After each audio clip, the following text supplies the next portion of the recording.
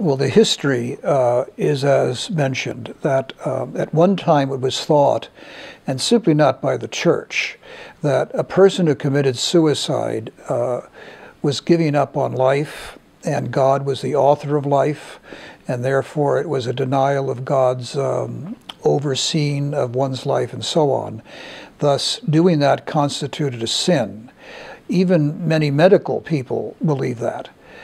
But as time progressed and uh, people who had committed suicide, that their motives and intentions were more clearly uh, studied and known, it became more clear that something is going on in terms of the person's emotional life, um, their life deep in their heart, that they've lost perspective.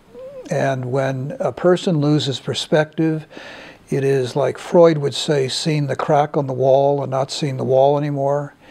And they see only the crack, you lose perspective, and that leads to depression. And one avenue of getting out of depression, not the only one, obviously, is to commit suicide. So the church has come to see that, that a person who is committed, committing suicide or has committed suicide for complicated, unknown reasons often has lost perspective. Thus, that's what's occurred rather than a denial of God. And that's fundamentally why the church has changed its whole disposition toward that question.